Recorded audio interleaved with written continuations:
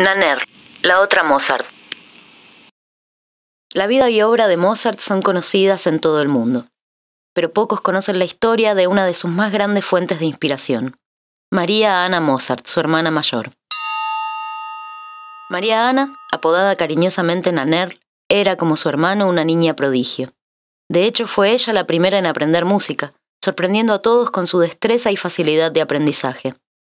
Durante las lecciones, impartidas por su padre Leopoldo, el pequeño Wolfgang, cinco años menor que ella, observaba fascinado. Resulta que, viendo en ella y en Wolfgang una posibilidad de conseguir fama y reconocimiento, Leopoldo comenzó a llevarlos de gira por Europa. A los 12 años de edad, Nannerl ya era considerada una de las intérpretes más hábiles del continente. Pero, cuando la muchacha alcanzó la adolescencia, las cosas cambiaron. En aquella época, una niña genio podía ser un espectáculo divertido y curioso, pero una mujer talentosa e independiente, exhibiéndose ante el público, era algo inaceptable.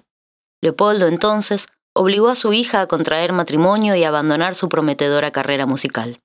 Naner hizo caso a los deseos de su padre. Se casó y tuvo tres hijos. Sin embargo, algunas cartas que le envió a su hermano menor nos revelan que mantuvo encendida la llama de la música.